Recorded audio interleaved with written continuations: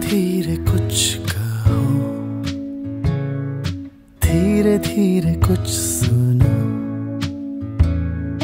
खो गए हम यहाँ। पल ये कैसे थम गया धीरे धीरे कुछ कहो।